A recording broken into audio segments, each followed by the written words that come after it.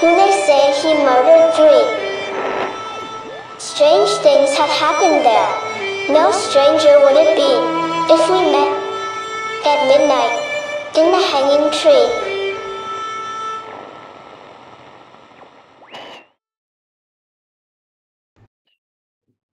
Welcome to the show. I'm your host, Chris James. Given enough coffee, I could conquer the world. Well, that and a huge army and all the latest technology and weapons. I really don't want to rule the world. Uh, too much responsibility. I'm happy just trying to run my own brain, which is a huge challenge. Great, now my cats are fighting. If I did want to conquer anything, I would use Organic Man Coffee Trike as my supplier. The best coffee in the universe. Well, the planet, according to Annabelle Lee. Swing by 4501 McPherson and get a cup or 10. If it's too far to go, you can go to organicmancoffeetrike.shop. Consume and enjoy. I want to know why so many sites today are doing war with ad blockers. I know they make their money by bombarding us with commercials and things that we don't need or want, but so many sites will allow you to have a real quick glimpse into their site, and then all of a sudden it'll say, Oh, you're using ad blockers. You can't look at us. Mm, I simply close the page and I go looking elsewhere. If they don't want us visiting, then put some kind of an icon on the search page just so I don't even open the darn thing. A red circle and a slash over a capital A B. Ad blockers need not look. I was on Paranormal Roundtable with Josh Turner, Michael Anthony, and Anthony Moreno. We were talking about tulpas and how some people said these were thought forms uh, created as people focused their attention on some, until that moment, unreal creature. I had said something about unseen beings that took on the shape of other creatures as a way of feeding on fear. Anthony Moreno said maybe the tulpas were actually these invisible beings reading people's minds and creating the things that folks were focusing on. Well, something like that. It got me to thinking about imaginary play friends.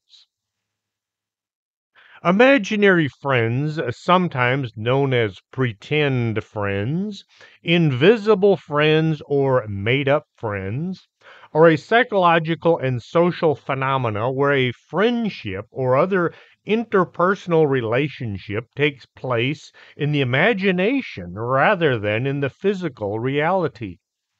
Some kids find making real friends a bit hard while others want somebody around unlike the available kids in the neighborhood. Although they may seem real to their creators, children usually understand their imaginary friends are not real. At least, that's what the experts tell us. The first studies focusing on imaginary friends are supposed to have been conducted in the 1890s. Uh, there is little research about the concept of imaginary friends in kids' imagination. Klausen and Passman report imaginary companions were originally described as being supernatural creatures and spirits that were thought to connect people with their past lives. Adults in history have had entities uh, such as household gods, guardian angels, and muses that functioned as imaginary companions to provide comfort, guidance, and inspiration for creative work. There's also the phenomenon of the third man. On July 10th, 2020, I did a whole show about that unexplained occurrence. It is possible uh, the phenomenon appeared among children in the mid 19th century when childhood was emphasized as an important time for play and imagination. Some of these unseen playmates are just there to play or sometimes help keep the real kids from harm. You might call them our guardian angels or protectors from beyond. As a writer, I get to talk to a lot of people with stories of things their kids told them. On occasion, these childish stories took on a whole new paranormal aspect. Some of these stories I just went with what they had told me. Others I gave them assumed names, and you know what assume means. Anyway, I used names to tell their stories without their getting any unwanted notoriety. Some people will tell me that they want their names in writing, and others are like, please don't mention my name. When a little girl named Sarah first began to talk, she told her folks about a friend of hers named Saw Saw, uh, who would come and play with her. Sarah would talk to Saw Saw from the time she awoke until it was time for bed. What both parents found amazing was how Sarah was so well behaved, never crying at night or acting up. No public meltdowns. As she was abnormally well adjusted. The folks uh, playing along with the kid, uh, seeing as this imaginary friend uh, seemed to make her happy. The situation did get a bit out of hand as Sarah would insist that Saw be given a place at the table during mealtime. Saw would take a bath with her and sleep beside her. As Sarah got old enough to communicate intelligently, the parents began to suspect that there might be more going on than just imagination. One day, while their daughter and Saw Saw were playing dolls, Nicole let them know that lunch was ready. As was her habit, she called both names. It was all just fun and games, right? Sarah grew up a bit thinking of Santa Claus and the Easter Bunny and Saw Saw as all being real. As she entered the kitchen, Sarah told her mother her friend's name was not Saw it was Sasha. And Nicole was somewhat taken aback. Sasha means defender of mankind, and it can be given to a boy or a girl. What Nicole was surprised by was years ago she had been pregnant, and that child was going to be named Sasha. The baby didn't make it to term. Neither parent had ever told Sarah about this unborn sister. Nicole began to believe that her daughters had somehow found each other. Uh, Kevin, the husband, wasn't as quick to accept this scenario, but after looking back on things that Sarah had said and done over the years, the pieces began to fit together in the hopes of learning about this child who they never knew, they started pressing Sarah for more information. They asked their daughter so many questions that instead of answering, Sarah retreated inside herself. She refused to speak to either parent, uh, focusing her full attention on Sasha the folks decided it would be best to stop asking questions about this girl that they couldn't see and try focusing on Sarah, the one that they could.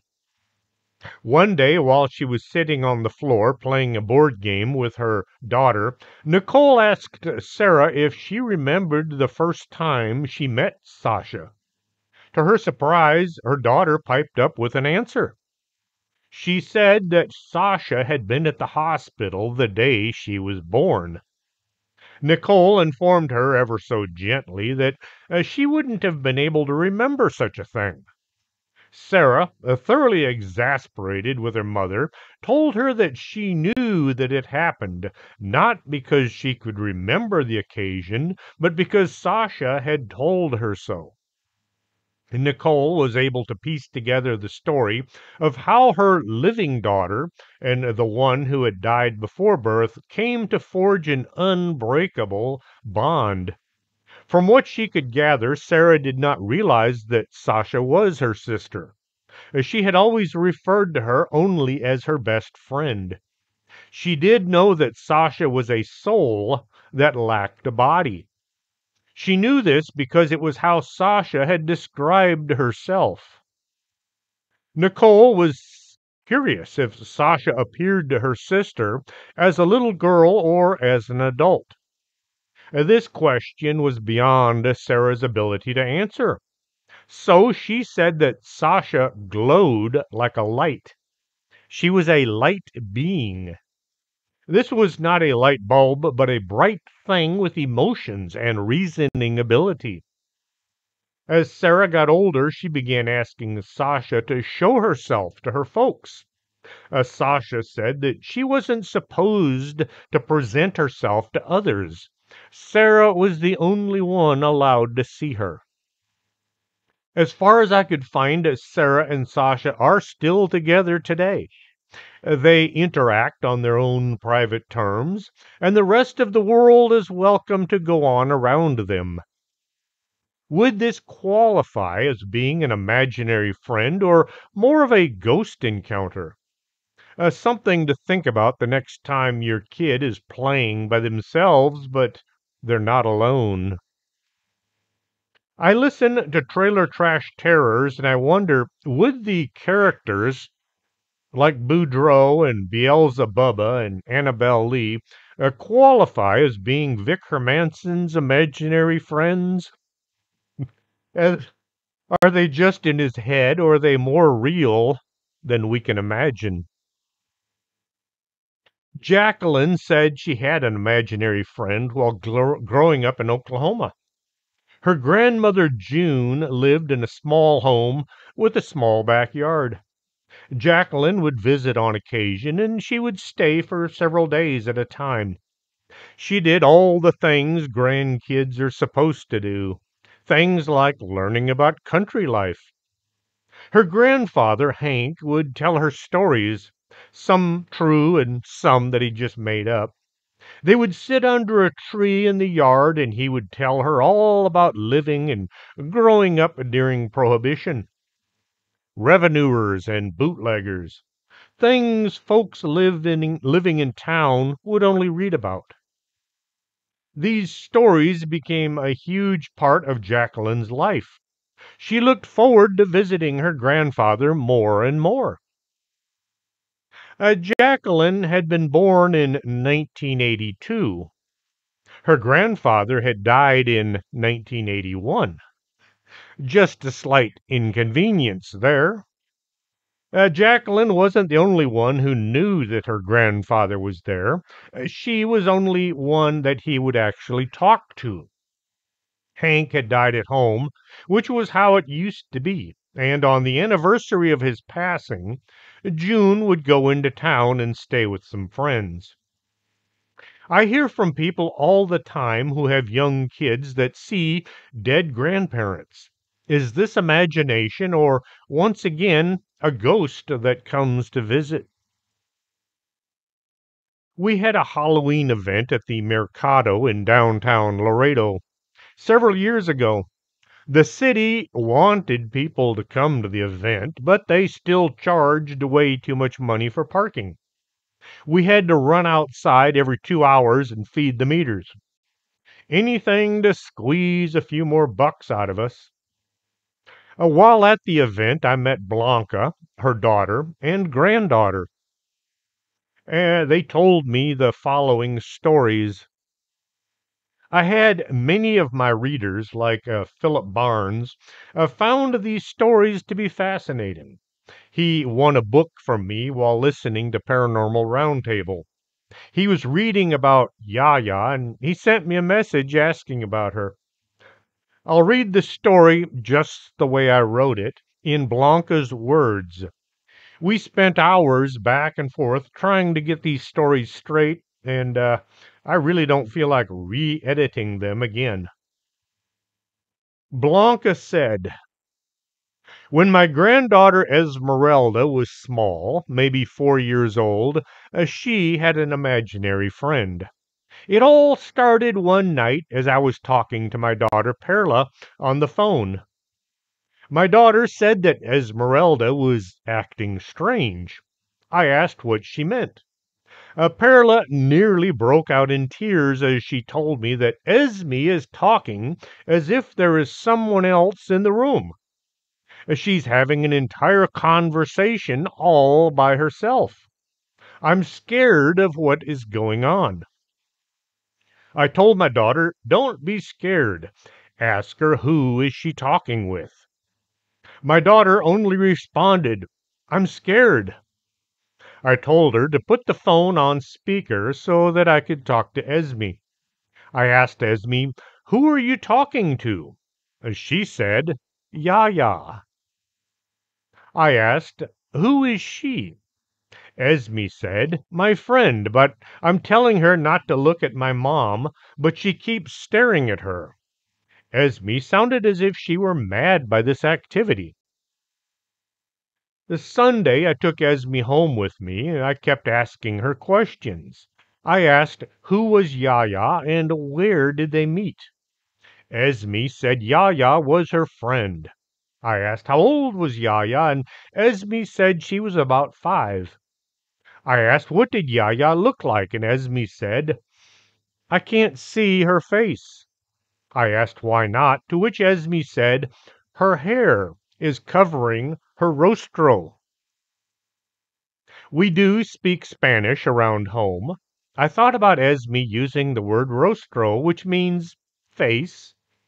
I thought about it and I decided that we had never used rostro, and there was no way that Esme should know, let alone use this word.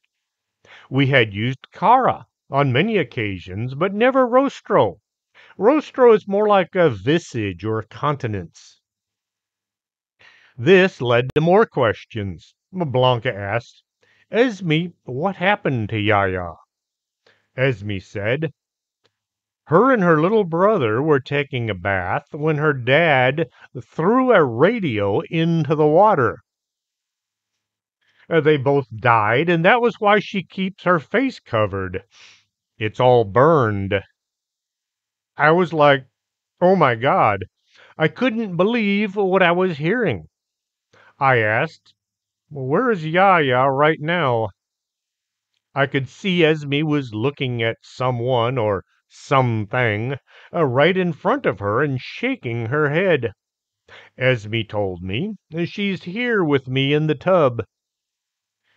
I said, Okay. I told Esme, now, get the washcloth and give it to Ya-Ya and uh, tell her she'll have to scrub herself because I can't see her. Esme grabbed the washcloth and then handed it to where Ya-Ya was supposed to be. Grandma said you'll have to wash yourself 'cause she can't see you. I took Esme out of the tub so she could get ready for bed. Esme wanted Ya-Ya to get ready as well. I told my granddaughter, Tell Ya-Ya that she can stay here as long as she wants to, but she's going to have to be a good girl or she will have to leave. Esme looked at me and said, She heard you and she said okay. One day, as I was cooking, I had Esme sitting at the table coloring. As she was talking with herself, or rather her friend. I finished cooking and I served her some food. Esme asked me, uh, Grandma, Ya-Ya is hungry too. I asked her where is she, and Esme pointed to the chair next to her, and she said she's right there. I got a small plate and served a small portion of food. I never saw the spoon move or the food get eaten, but it was a bit strange serving a ghost. One day my son Juan was playing a video game. Esme came wandering into his room and He watched for a bit. She then asked, Can we play with your game? He looked at her and asked who the we were. Her and who else? To which Esme said, Me and Yaya. Juan looked at his niece and asked, Where's Yaya? Esme pointed to the area right next to him and said, She's standing next to you. I was in the kitchen when my son came running in all scared. I looked at him and asked what was wrong, and Juan told me that Esme scared me with Yaya. I asked him how come she scared him, and Juan said I asked her where was Yaya, and she pointed next to me and said she was standing right there. I laughed and told Juan to not be afraid. Yaya wouldn't do anything. Juan was still shook up and said it still scared the heck out of him. When my daughter picked my granddaughter up on the weekends, I would tell Esmeralda to take Yaya with her. One night, my husband and I were leaving to head over to a club. My three sons were not home, and I was the last one out the door. I turned off the lights, and I was walking to the front door when I entered a cold spot. All the hair on my arms stood up, and I felt a chill run down my spine. I practically ran out the door thinking that I was not alone any more. My husband looked at me and asked, What in the world is wrong with you? I told him something was behind me. I could feel it following me as I walked through the house. It felt mean and angry. Yaya went everywhere with my granddaughter. Everywhere. She would go to my niece's house when they would babysit Esmeralda. Joanna would take care of Esme any time me and my daughter were both working or we were too busy during the day. One day I had Esme when my niece called my daughter and asked her, why did she drop Esme off without telling her? My daughter told her she hadn't dropped Esme off. Esme was with her grandmother. My niece had been looking at the camera that showed the front door to her house. She had seen a little girl standing there waiting to be let in and simply thought it had to be Esmeralda. When my niece opened the door, there was nobody there. She looked all around the yard and even out in the street, but there was no one. Going back inside, she looked at the camera once more. Again, the little girl was standing there. My niece went back to the front door, thinking that maybe Esme had hidden or something. Once more, there was nobody at the door. After doing this a few more times, my niece said to tell Esme to take Yaya with her, and from now on, don't bring her to her house. Esme was attending school across the street from my house. She stayed with me during school days and then went with her mother during summer vacation. When Esme left for school, Yaya stayed in my house. She was apparently upset that her friend wasn't there to play with. Yaya began doing things. In the hallway stood an altar in memory of my sister who had passed away. There were some angel figurines and pictures and candles. I was sitting in the living room with my son Marco. We were the only ones, well, the only living people in the house. As we were watching TV, we heard noises coming from the hallway. As we were about to go look for the cause, the angel figurines and all the things on the altar came flying through the room, landing by the couch. My son and I looked at each other, lost as to what had just happened. As I began picking stuff up, I told my sister Janie that she didn't have to throw things around, but I really knew that it was Yaya. The next incident took place shortly after I got sick and I was bedridden for almost three weeks. My son Marco was with me in my room watching TV, and suddenly we heard what sounded like the couch being moved.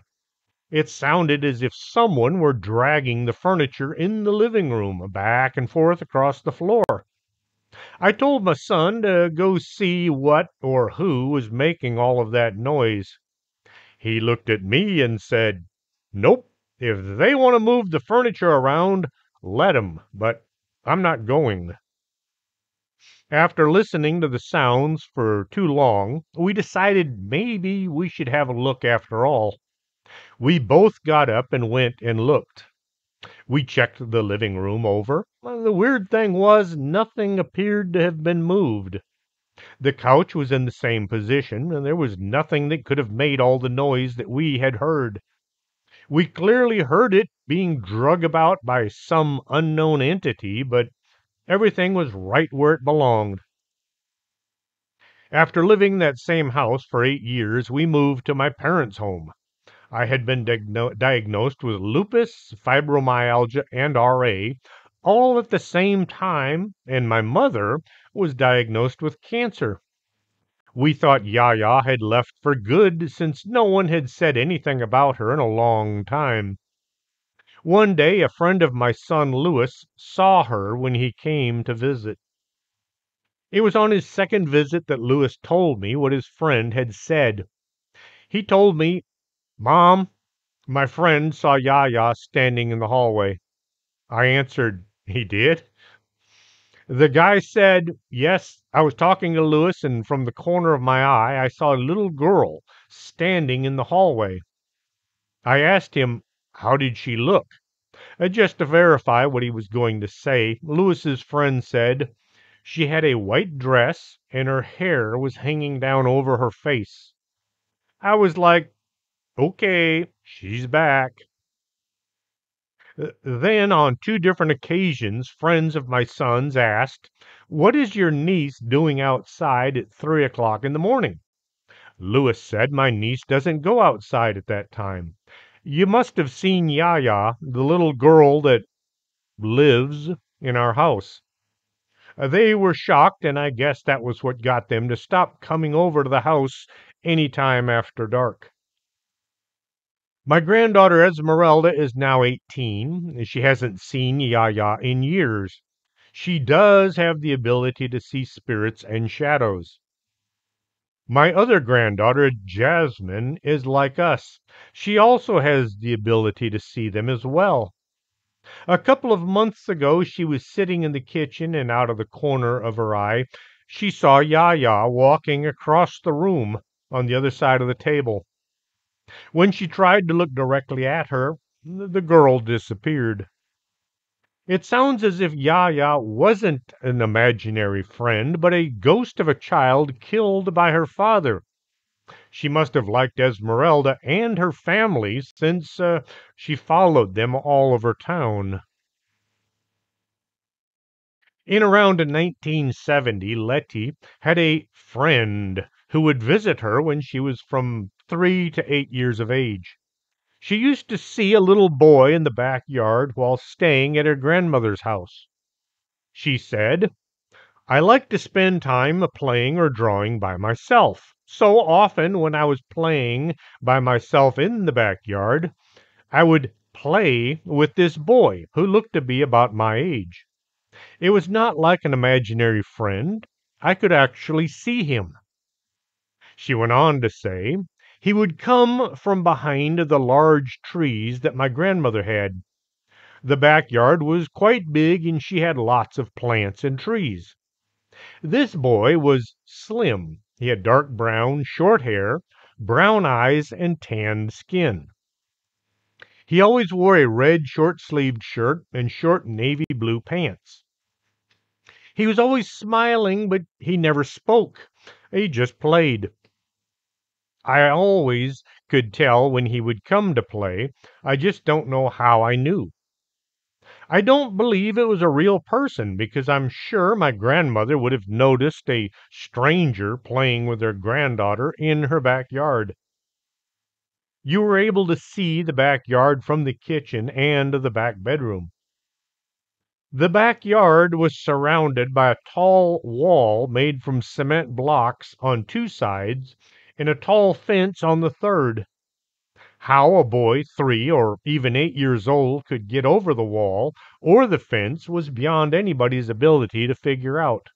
Sometime after she was eight years old, thereabouts, her friend simply stopped showing up.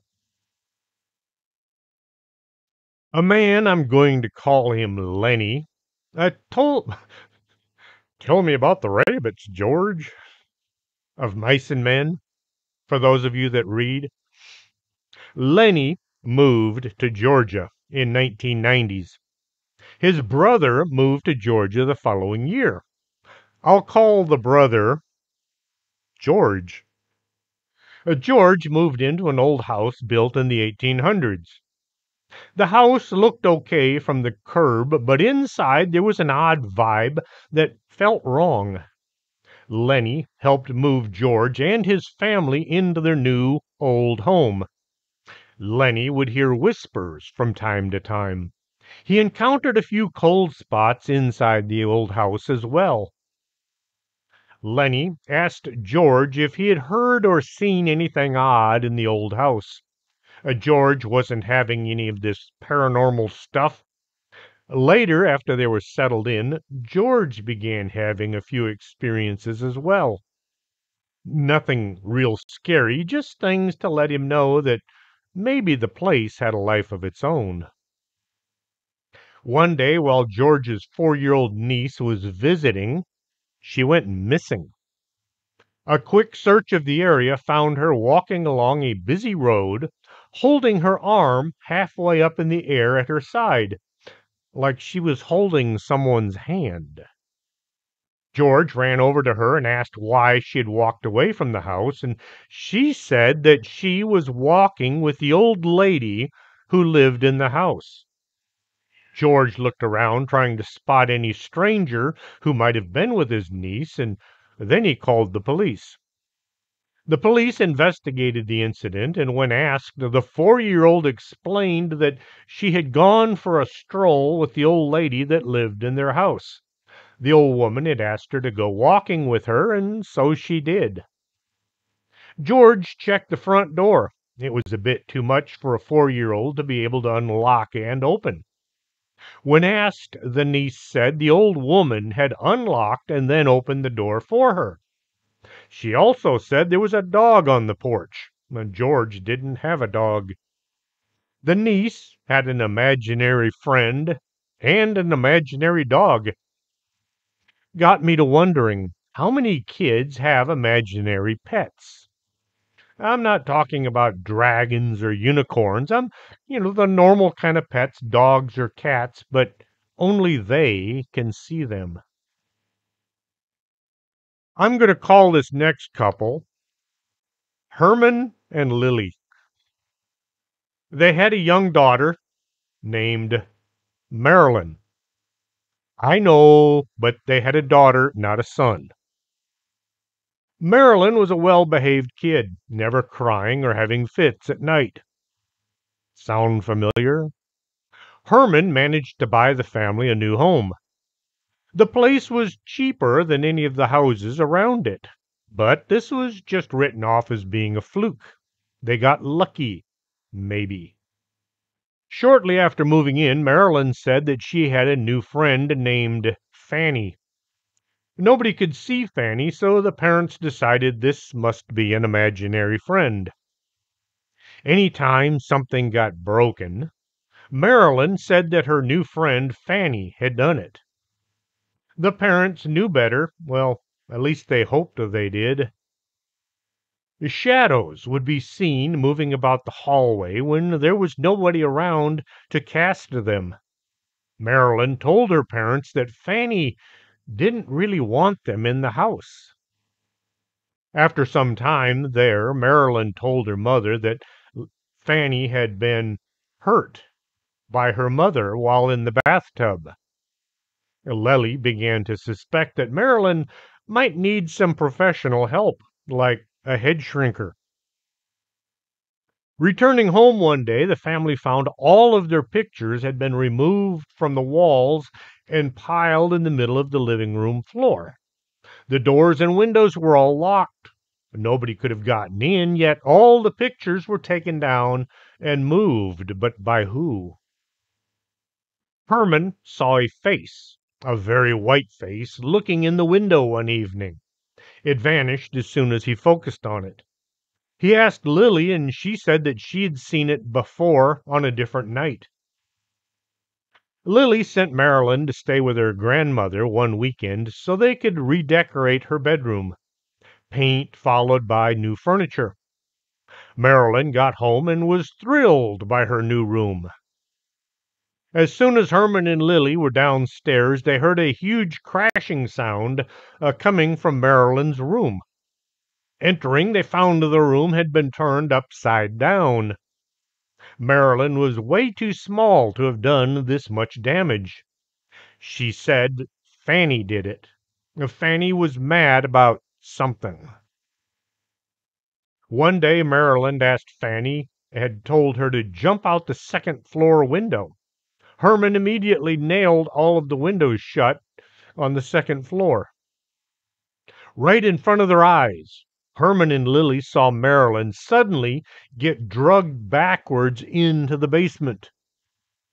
This was just too much, so Lily called around until she found a medium that she thought was trustworthy. The medium said all the things that mediums say when they really don't know what they're doing. Someone died violently, and there's unfinished business, and, uh, you know, poltergeist stuff. Well, Marilyn was way too young to be experiencing poltergeist activity. Late one night, Herman felt himself suddenly being possessed by unseen forces. He had a sudden violent urge to attack. Lily did the smart thing and ran out the door. As soon as Herman got out the door, the feelings vanished. It was time to go.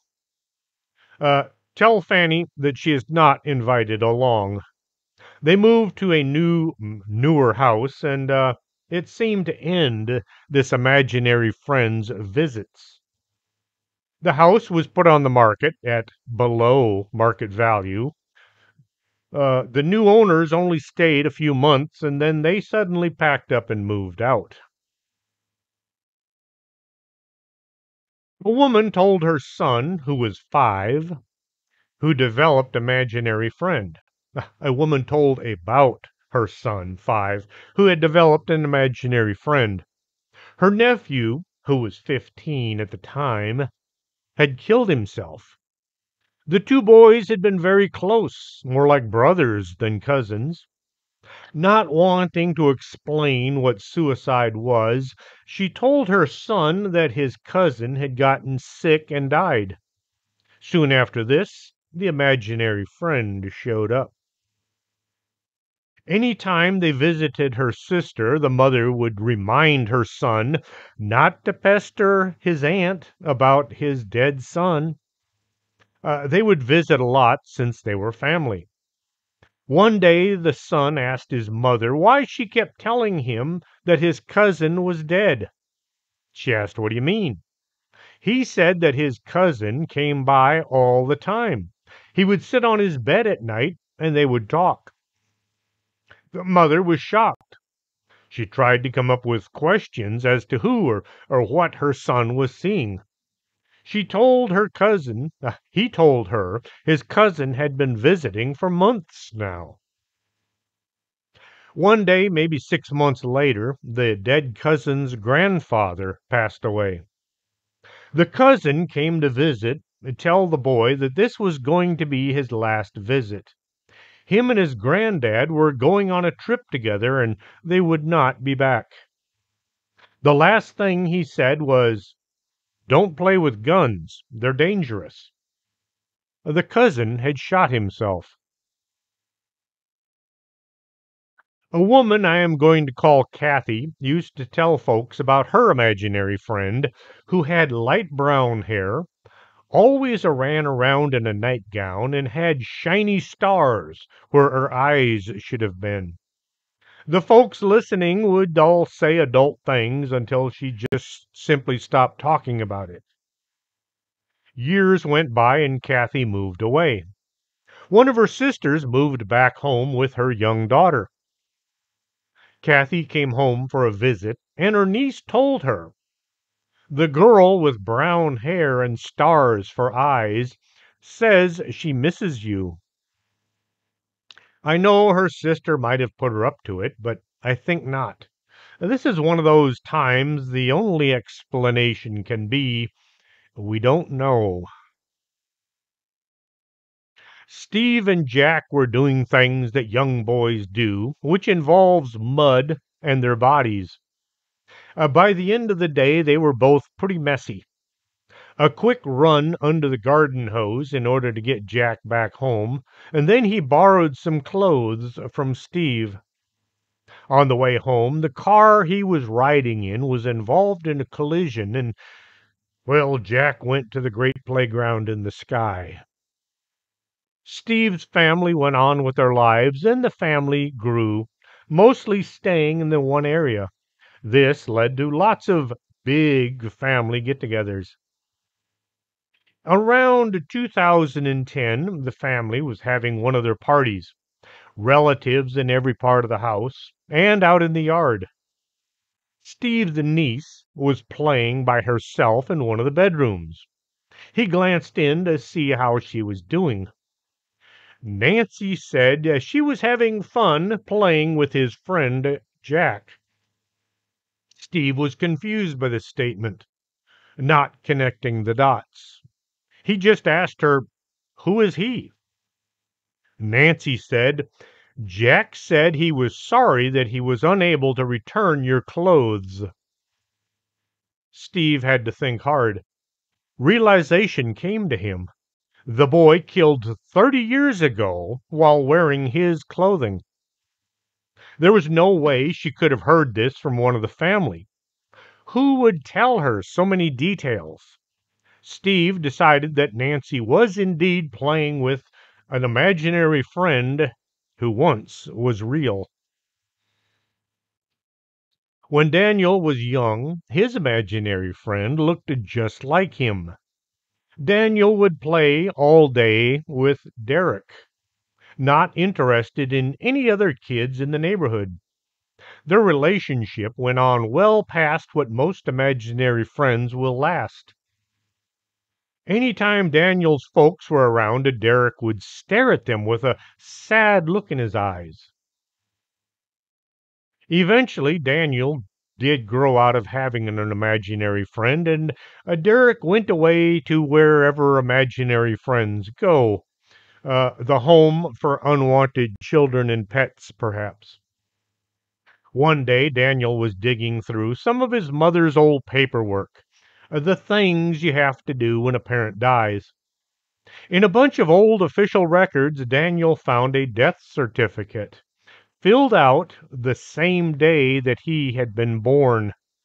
It was listed as being for Derek, who was stillborn along with Daniel, his twin brother that he never knew he'd had. A two or three year old boy used to play with his best imaginary friend, Johnny, who wore nothing but green clothes. His hat, shirt, pants, even his boots were green. One day, while the family was out for a drive, they were passing the cemetery when the boy announced that's where his friend Johnny lived. The father tried to explain what a cemetery was and how nobody actually lived there. They're all dead. His son said Johnny was a soldier and he died in some place called Nam. A young girl, Barbara, had an imaginary friend named Paris Jarvis. Uh, Barbara's dad built a playhouse in the backyard close to the kitchen window so her mom, Gloria, could keep an eye on her when she was playing. Barbara would hold tea parties all the time, passing around cups and plates of non existent cookies. One day, Gloria was doing the dishes and listening in on the tea party she heard, As long as I'm alive, nobody is going to hurt you. Gloria stopped what she was doing and listened closer. If you go and do that, I won't be able to help you. You know it's not nice to kill people. Gloria went out to find out what in the heck was going on inside her daughter's head. Barbara said that Paris was acting bad, and she, Barbara, had threatened her that she must behave. She had told Paris that she could not come play any more if she killed someone. Uh, quick questions uh, for you parents out there. How would you handle that statement? The family moved to a new house and they left the playhouse behind. A young boy told his mother that his imaginary friend was an older girl who said that she missed her and wished she could have stuck around for more than just one month. Her oldest son told her his imaginary friend missed her, the mom, and she wished that she could have been with her mother longer. It was one of those moments in life when the big hand of mystery slaps you upside the head. The mother had a daughter die from sudden infant death syndrome a year before she'd had her son. The daughter died when she was a month old. She had never mentioned this to her son. Two young sisters, Becky, six, and Dorothy, five, had the same imaginary friend named Narnie. Uh, it would drive their brother and their folks nuts how both girls could interact with an invisible friend. They both would look at the exact same spot, saying that was where Narnie was they would both hear her saying the exact same things. The descriptions of this friend were the same. They both walk, would talk as if this invisible girl was too real for comfort. If one said Narnie was doing something, the other would tell the same thing, never adding to it, never changing the story. It was always the same, even if they weren't hearing each other speak. If Narnie had said something, the two girls would get into a discussion with her that was all too well conducted to have been planned out and put together on the fly. Uh, five and six year olds can't keep this kind of thing up very long. Not just inside their minds. After watching this interaction for years, the family decided that there must be a ghost of some dead girl playing with their two girls. Children shouldn't play with dead things. That was a movie came out a long time ago. Ashley used to have a late night visitor, not so much an imaginary friend, but an imaginary tormentor. She told people that this girl had long black hair that hung down over her face, just like Yaya. Instead of fingers, she had spiders attached to her hands. Ashley had put up with these visits until she turned 18, and then she immediately packed her bags and moved away.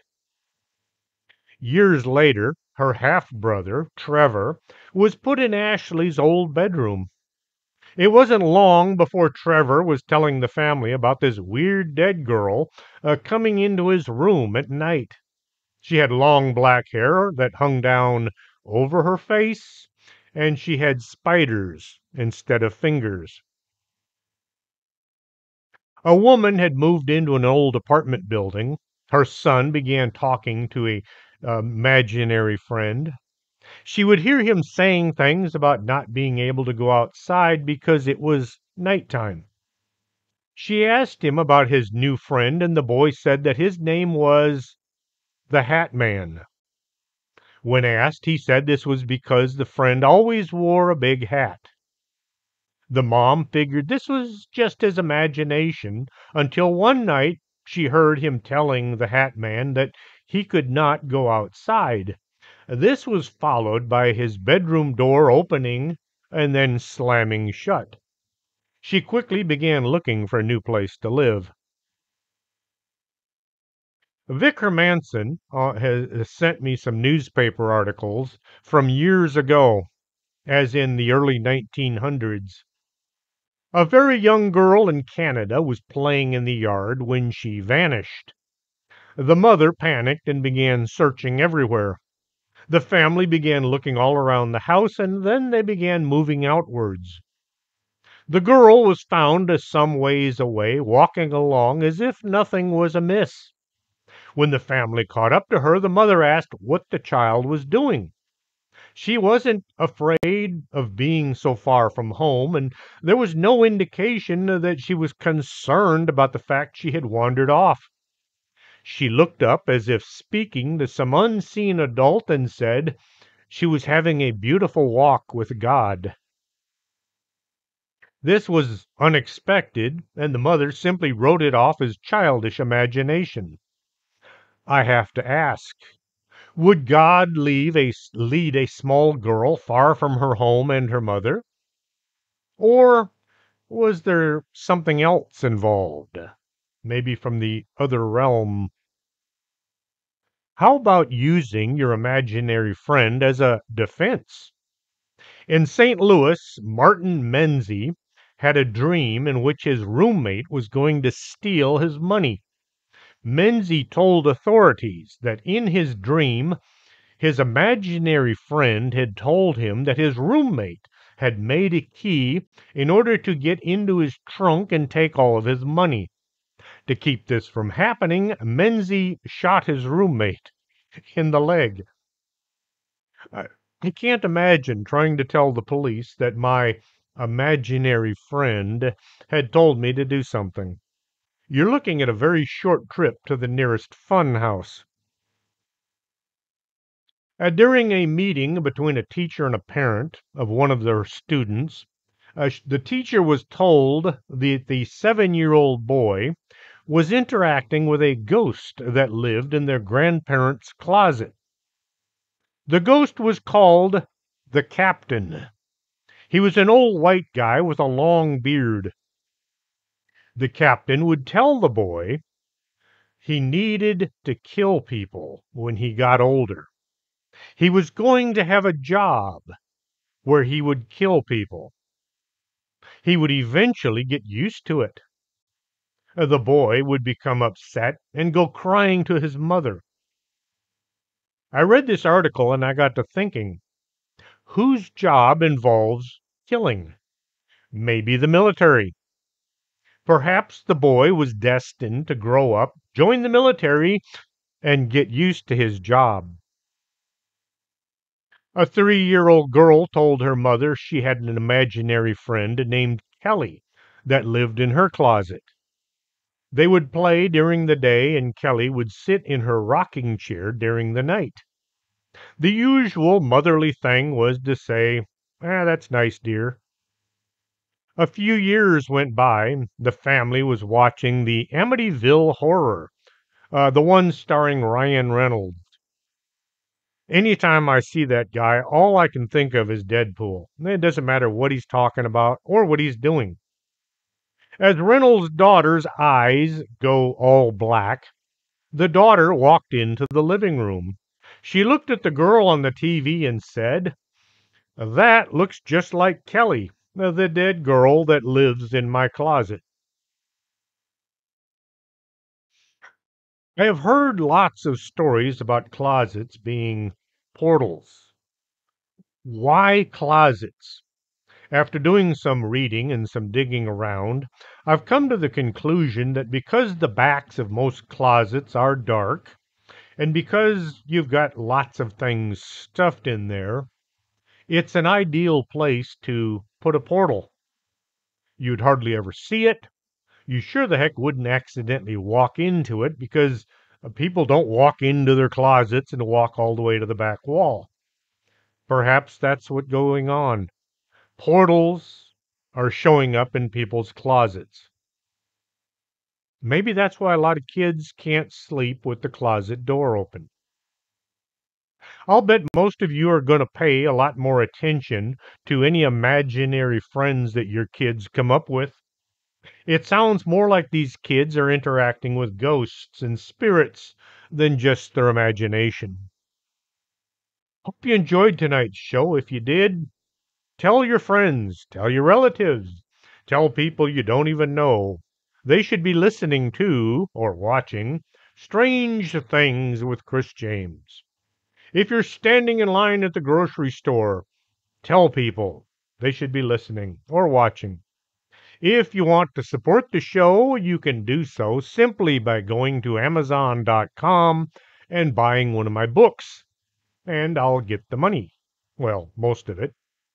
You can get the Laredo Paranormal Research Society, Fort McIntosh and the Paranormal, Paranormal Laredo, or Paranormal Stories. Until next Saturday, this is Chris James for Strange Things.